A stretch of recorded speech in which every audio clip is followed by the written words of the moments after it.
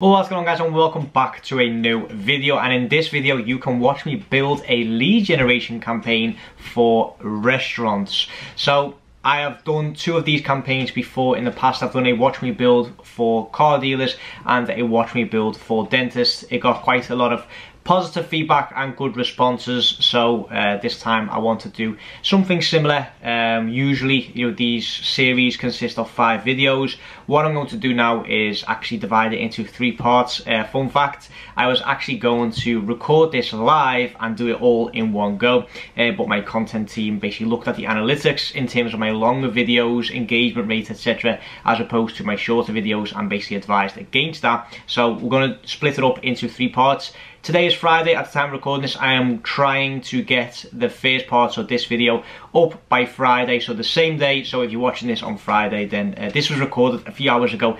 If I was not able to make it, my apologies. Um, so the structure and the plan going forward is today, Friday, record this video and upload it. Then on the Saturday, record part two. And then on the Monday, record uh, or basically upload part three. So I'm going to record everything today and then spread the videos out over the next three, four days. So what we're going to do in the first video is basically map out our flow for the restaurants. Uh, I still need to pick a type of restaurant, etc. So map out what kind of flow, what kind of restaurant we're going to do. Um, and basically create the landing page as well. So I've decided to do a landing page flow because I think the previous flows were on Facebook lead forms. So a landing page it is this time. Then in the second video, we're going to be setting up our campaign and we're going to basically map out our ad set, so what audience we are going to target. And then in the last uh, video, we are going to do a, the advertisements. So, you know, how to set up the advertisements, etc. Um, what kind of images to use, what kind of copy to use, and also how to automate all this within Zapier. Somewhere along the line, we'll also be setting up the Facebook pixel and install the tracking on the website and landing page as well. So I'm going to show you how you can do all of that so that you can also get results for your restaurant clients. No,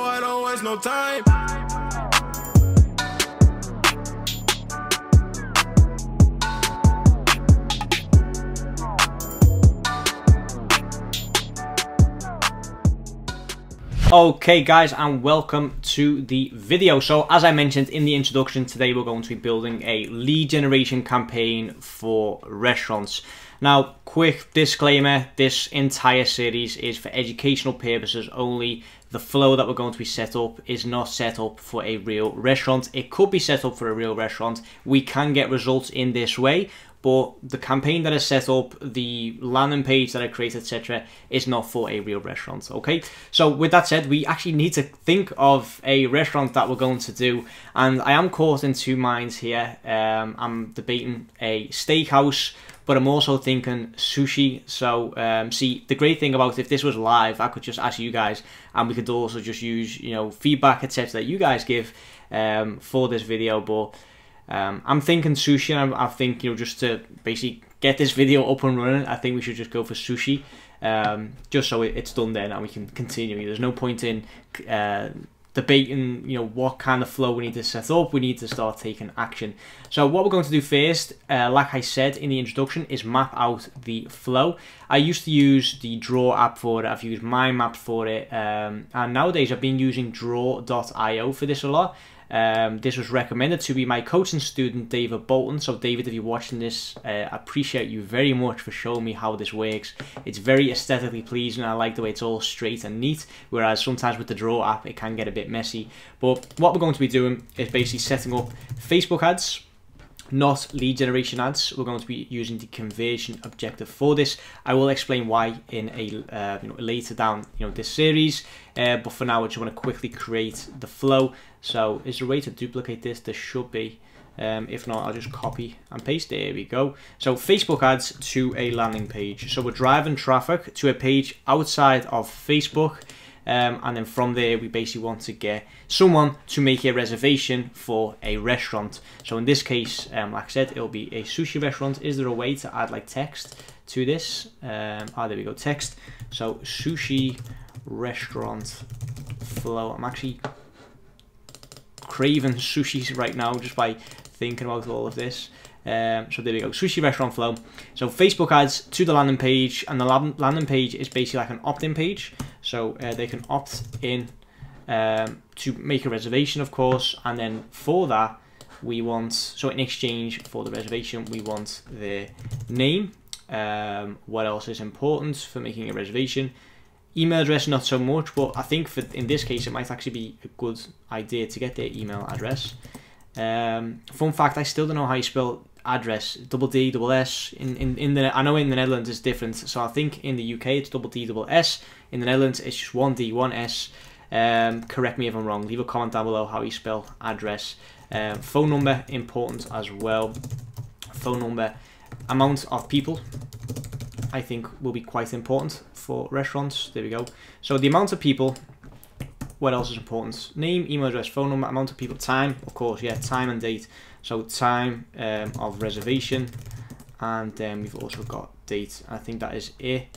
Name, email address, yeah, I think that's enough for now. If not, I'll just come back and I'll think of something else. But uh, for now, there we go. So landing page, Facebook ads to landing page, and then from there, they also land on the thank you page. Can I just drag this along? There we go. So from the landing page, as soon as they opt in, you know, there needs to be some kind of registration complete. So we just have the thank you page. And then what I'll probably do on the thank you page, um, so what I'm thinking for this flow, right, is because you know in this we don't actually have a restaurant client so we don't know what kind of crm system they use what their backend looks like etc so what i think we should do is send an email to the restaurant you know the fictional restaurant with all of this information and then they basically confirm the booking um, or they add it to their CRM system, anything like that. I think that'll probably be the most realistic. And then on the thank you page, the call to action will also be to book to confirm, um, just to make sure that, you know, it's seamlessly integrates. So either the restaurant confirms with them or they confirm with the restaurant. You know, it's basically a, a two-way sort of confirmation. So call to action to confirm.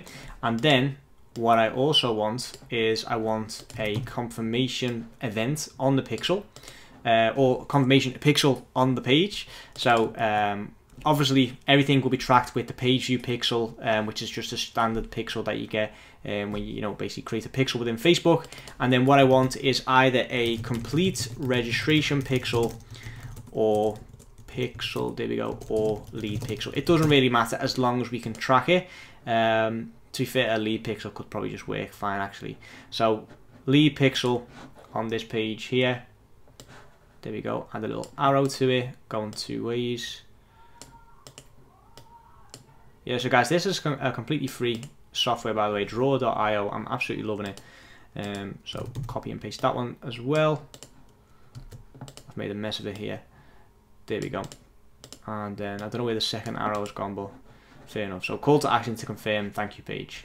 So that is basically it. That is the flow that we're going to set up. And then obviously the Facebook ads consist of a campaign, an ad set and advertisements, etc. The landing page needs some work, but this is basically what we're going to set up.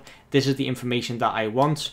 And um, other than that, I think that is the flow for now. We can always come back to this uh, diagram later. Let's just give it a sushi watch me build YouTube vid flow rename, there we go.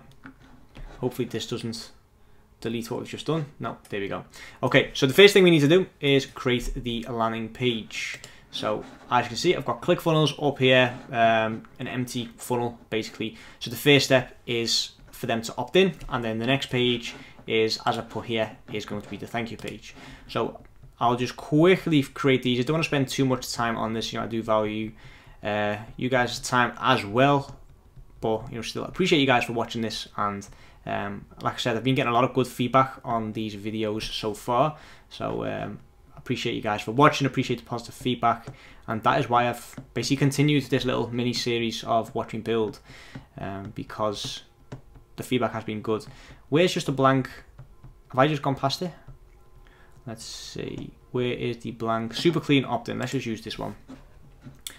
And um, I do need to give credit where credit is due. The Watch Me Build campaigns are actually inspired by uh, Colin Dice, who also creates Watch Me Build campaigns for a different industry, uh, the affiliate marketing industry. So Watch Me Build affiliate marketing campaigns, um, and he's a good friend of mine and also ex-business partner. We partnered up on a little project uh, last year. Uh, that project has come to an end. It's finished, but like I said, you know, we're still very good friends.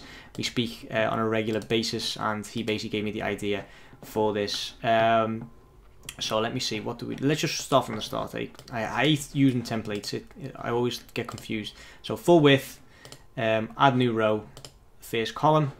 We need a logo actually, don't we? So let's um, Google sushi logos. Um, like I said, I'm going to try and spend as minimum time possible on this, guys. Uh, I uh, don't want to be spending too much time on all of this.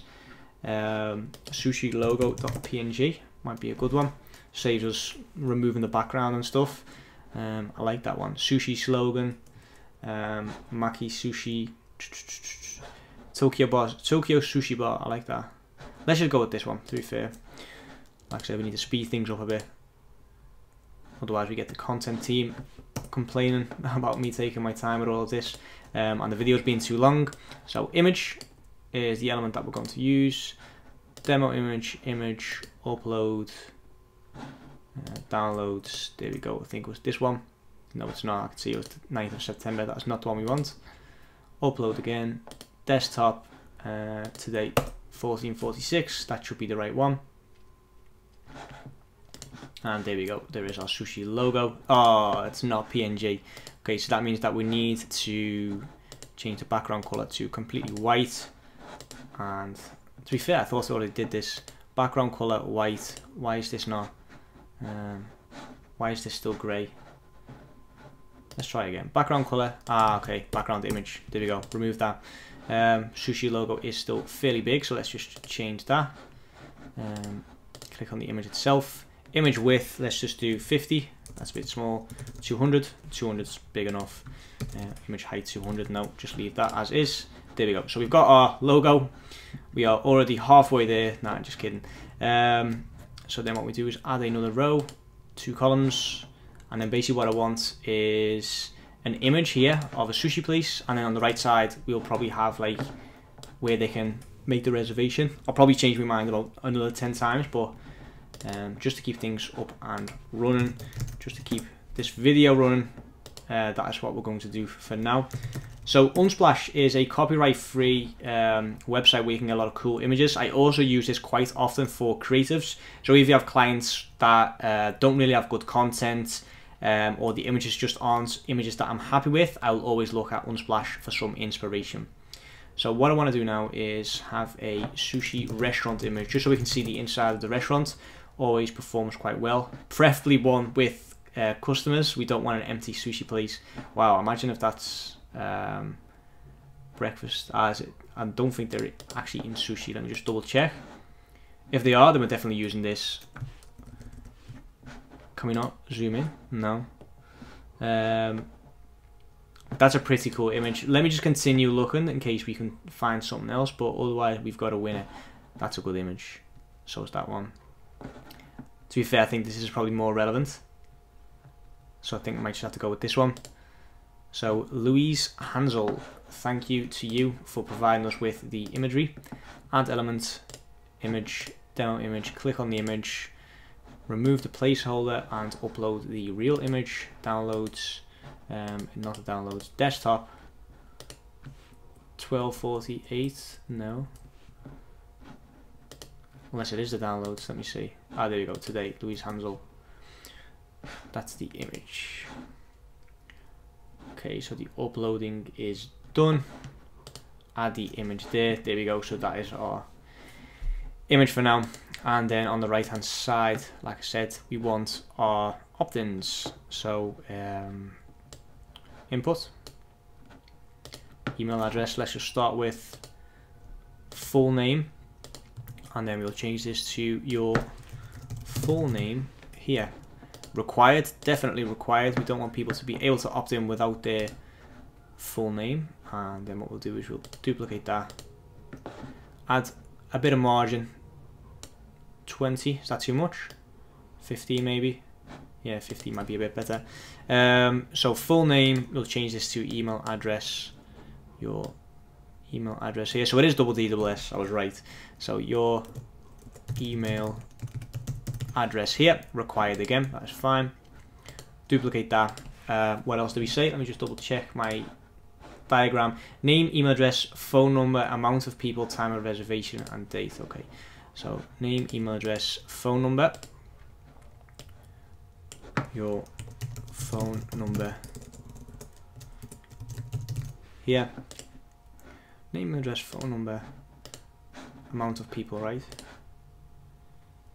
Yep, amount of people. So I'm guessing amount of people is not available, so we'll have to do custom type here. Um, let me just double check. Custom type amount of people.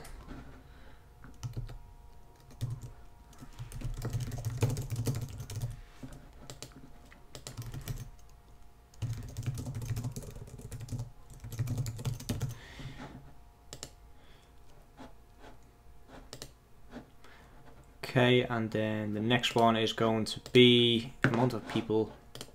What else do we say? Amount of people, time of reservation and date. Okay, so custom type again. Time of actually there was to um, reservation date. Makes sense to have first. And then the last one is reservation time. Okay.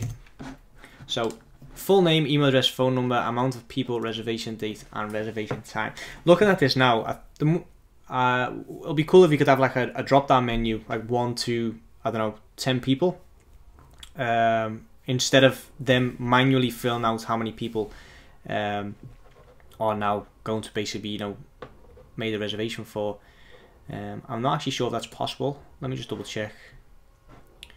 So we've got input select box. We could do a select box or check. No, okay, select box it is. Okay, so I'm just, just testing things out, guys, just seeing if this is possible. So input type, um,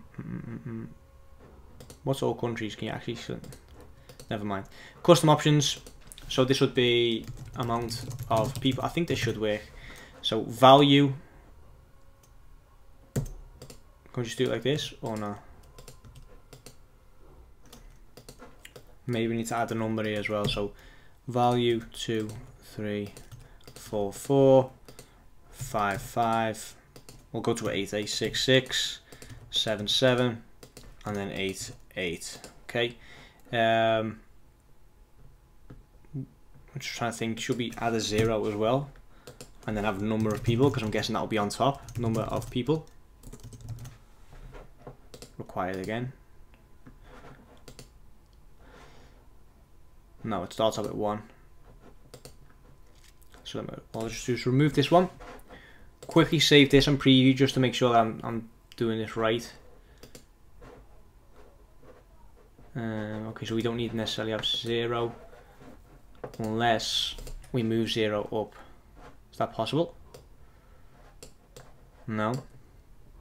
Okay, just leave it. Let's just pretend that zero is at the top and it, it starts off with a number of people. Um, full name, email address, phone number. Okay, so I think that's right. And then what we need, let me just double check we've had everything on required. Yes, we have. So then we need the button. So add new row, column. Could have actually had the button there, but never mind. Element, button. Click to sign up. No. Um, request booking or request table, maybe request table. Okay, and then what I'll do is I will get my, let's see, where is it? Extensions, Colorzilla, which is a free plugin just to pick a color from page. And I'll get this specific color orange, and I will make the button the same color orange as well, just to get some consistency going. I want a pill button, advanced I want the button to wobble. What is it called wobble? Yeah, wobble. So when we hover over it, it wobbles. Just a little effect that I like. There we go. So that is done. Um, and then we need to set an action. So the action will be to submit the order, submit form, submit order when they click on request table. Okay, so from here we are basically done with the landing page, although it is a bit boring. Um, so what we can also do is Google like a sushi background or something, sushi wallpaper, images, something like this, without the Shutterstock uh, at the bottom.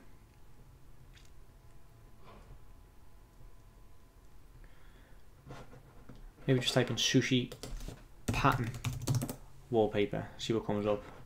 No ideas if this will look good or anything guys, I'm just testing things out. Let's try this one. Save image, desktop, awesome landing page again. Um, by the way, for those that don't know how to get rid of the affiliate badge, so go to settings, general, and then remove the affiliate badge so that you no longer have that ClickFunnels button at the bottom. And in terms of the My Awesome landing page, if you go to SEO metadata, you can change this here to um, what should we call our sushi restaurant. Uh, sushi, all you, uh, let's just call all you can eat sushi, might be easier. All you can eat sushi.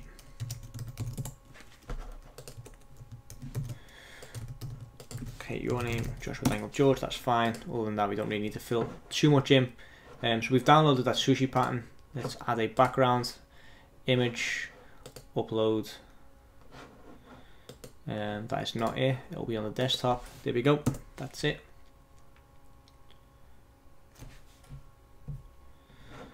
Okay, add image, let's see what this looks like. Um,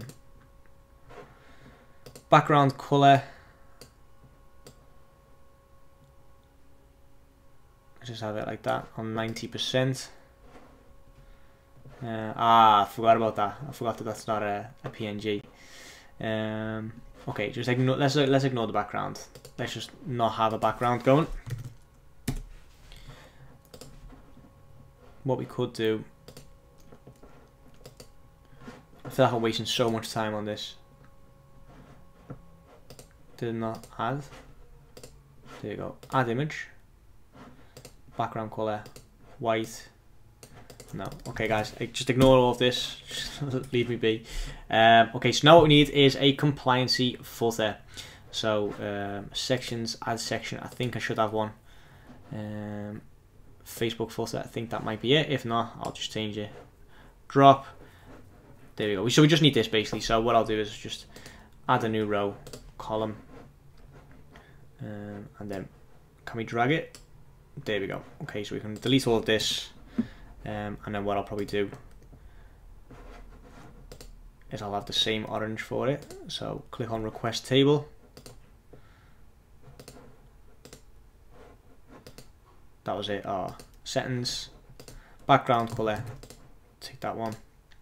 Get the text, text color, orange, and then what I'll do is I'll change this to white as well.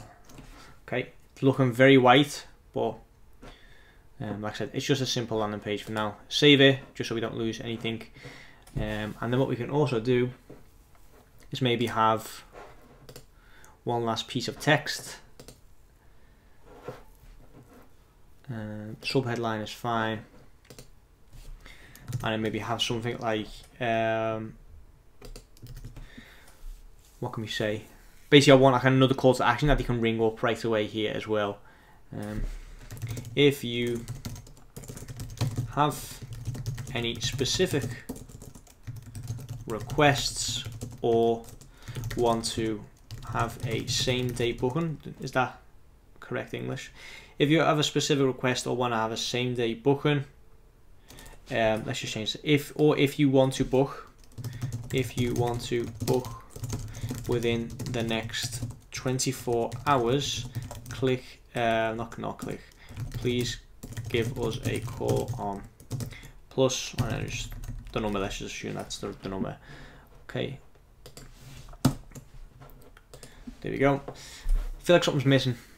I think maybe we should add something about the menu. So what I'll do is um, add a new row, two columns, move this up, add element, um, subheadline is fine. And then what we'll do is duplicate that, add the element here as well. And what we can do is just something like leave us your um, leave your contact details and we will be in touch to confirm your reservation.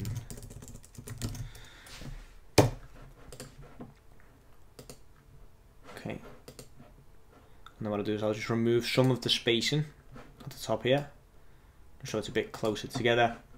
And then for here, we can say something like um, your favorite or you can eat sushi place is open for business. I have no idea, guys. Just let's just assume that's really good copy and that's really enticing. So um, as soon as they submit the button, they basically get sent to the thank you page, which you'll now just quickly create um, as well. So exit. So all you can eat sushi is done. The all you can eat sushi place is open for business. Then click on the thank you page and we'll just quickly create that as well. Just a clean one. Select template.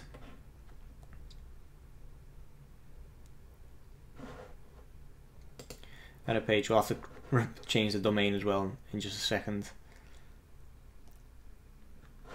Okay, just remove all of this. Remove your awesome company as well. There we go. So add a section, full width, add new row, one column, add new element, one image, remove the placeholder and add the logo again. That's not the logo, that one is add image, make it a bit smaller. What do we do? 200, I think we did. Um, and then change the background as to white as well. There we go. And then add a new row, one column, new element, headline. Um, thank you for. Hang on. Thank you for your reservation request we will be in touch to confirm your booking. Um, and then call us on if you need an immediate immediate response. There we go. Okay, so that is done and then we can add another Facebook footer if we want. It's not really relevant um, because obviously you know we're not actually directing any traffic to this URL uh, from Facebook, but just to sort of give it the finishing touch. There we go. And then add a new section full width. And then this is just my way of moving the footer down. There we go. Just so it's right at the bottom save this. Okay, so that is done. So we've got our flow, as I mentioned here.